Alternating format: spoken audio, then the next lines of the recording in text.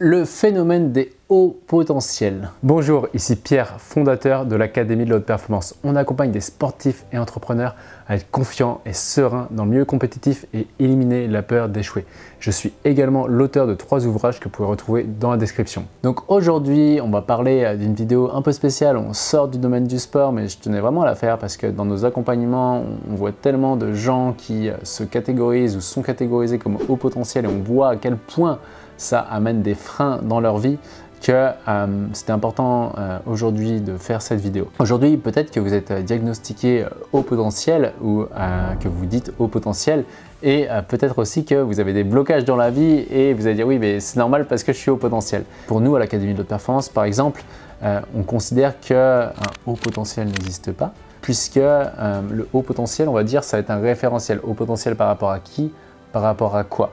Et en fait, ce qui se passe, c'est qu'il y a très souvent des gens qui sont en, échec ou, qui ont du mal à s'insérer dans la vie ou qui ont de la souffrance interne. À partir du moment qu'on leur met euh, la casquette ou l'étiquette euh, c'est normal, tu es haut potentiel, bah justement, cette étiquette de haut potentiel va nous mettre dans un certain confort. On va dire bah, c'est normal que j'ai du mal à faire ça parce que je suis diagnostiqué haut potentiel. Sauf que le phénomène est très vicieux parce que dans le sens où quand on va dire à quelqu'un tu es un haut potentiel, on va faire quoi Inconsciemment, on va l'exagérer. Et donc forcément, vu qu'on s'exagère, il va se passer quoi dans la matière, dans mon matériel? Eh bien, on va se sentir impuissant de ne pas arriver à passer à l'action. Et donc, c'est vraiment important de, de s'autoriser à sortir de cette étiquette-là pour dire bah non en fait je suis, pas haut potentiel, je suis pas bas potentiel non plus.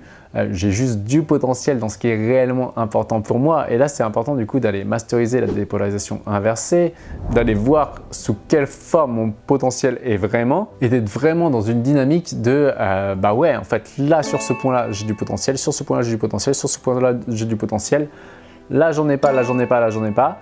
Par contre, il y a d'autres personnes qui ont du potentiel dans ce truc-là spécifiquement, et en fait d'arriver à vivre avec ça puisque autrement, eh bien, les gens vont souffrir parce qu'en se disant bah, je suis au potentiel et se cacher derrière cette casquette eh bien, ou cette étiquette, eh bien, on n'arrive pas à prendre nos responsabilités et on n'arrive pas à avancer. En plus, je trouve ça violent comme terme parce que quand on dit oui, mais c'est normal, c'était haut potentiel, eh inconsciemment, ça veut dire aussi il y a des gens qui sont bas potentiel et je trouve ça un peu violent de dire bah ouais, moi je suis haut potentiel donc je m'exagère.